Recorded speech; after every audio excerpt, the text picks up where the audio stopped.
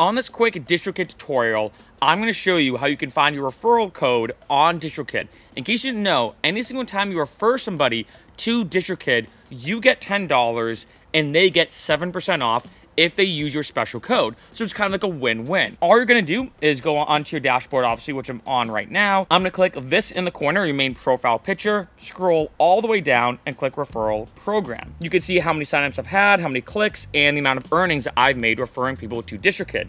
And as you can see here, give your friends a 7% discount, you make $10, any single time someone signs up using your code. So all you're gonna do is basically just copy this code. So I can just do Control C, Control V, and I can paste this on videos. I can paste this on social media platforms, basically anywhere. I'll actually show you how it looks. Let's pull up incognito so it doesn't log me in automatically.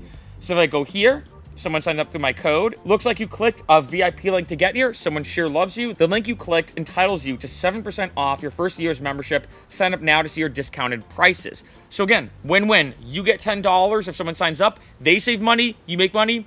Win-win.